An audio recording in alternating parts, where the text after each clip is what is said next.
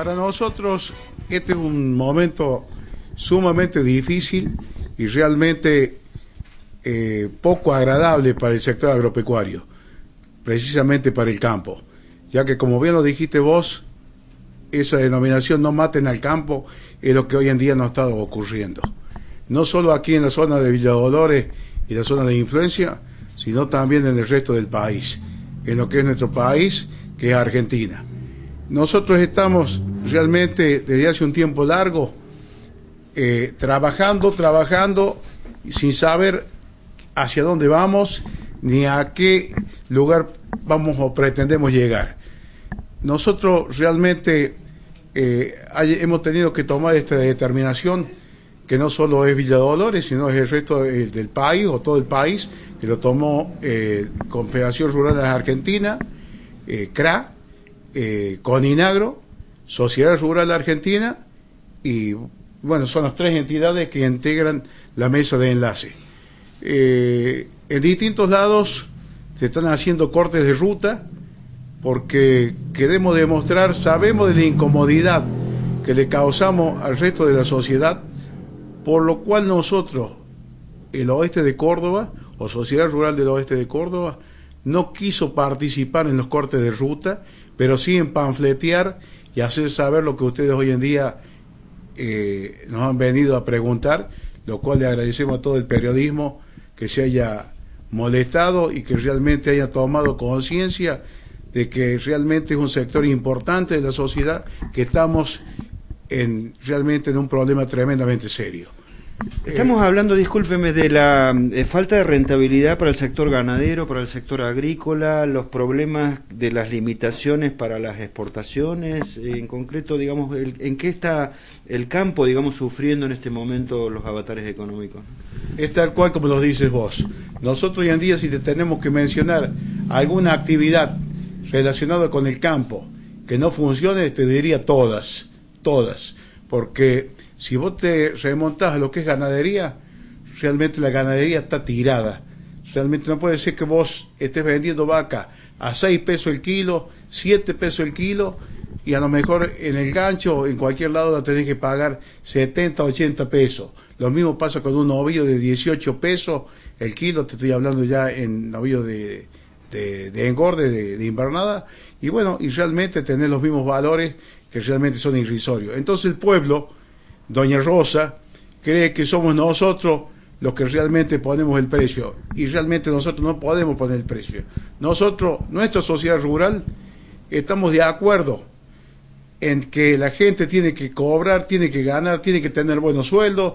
Nosotros no estamos ajenos a eso, pero también creemos que el productor lo tenemos que ayudar y realmente nos tienen que dar una mano para que realmente lo que se produzca, saber hacia dónde lo podemos comercializar o, qué es lo que vamos a ganar.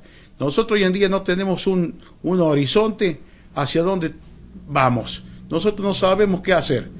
No sabemos si hace papa, realmente la papa no vale. Si haces en la parte de Mendoza vino, el vino no vale nada. O sea, la uva no vale nada. Si te vas al norte, todo lo que es la parte de, de citrus está tirado. Si te vas al, al sur, la parte de, de, de Río Negro, lo que es manzana, pera, todo eso, no vale nada. Entonces realmente vos decís, ¿a qué estamos jugando, muchachos? Si realmente nosotros podemos, podemos producir alimento, y no te quiero decir, discúlpame que te lo diga, pero el trigo, vos pagas el kilo de pan, lo pagas 20 pesos y el kilo no vale absolutamente nada, no tenés a quién vendérselo. El maíz pasa exactamente lo mismo. La soja, que es el caballito de batalla, el cual hubo algún gobernante que dijo el famoso yuyo, que hoy en día no, no, entra un peso de divisa a nuestro país ya que no se puede vender.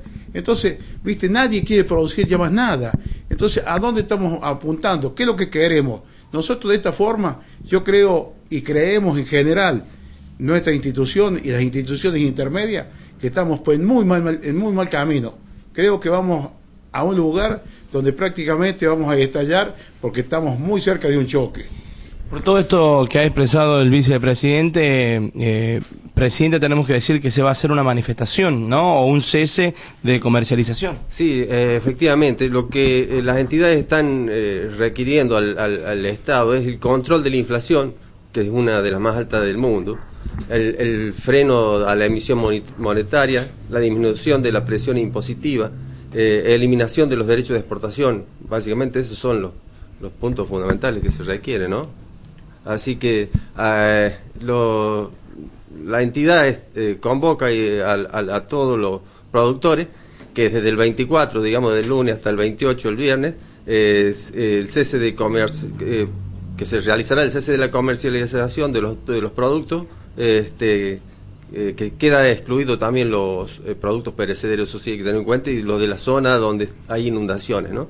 Este, bueno, convocamos al, al paro del de la comercialización, digamos, de, los productos agropecuarios, sobre todo grano y carne.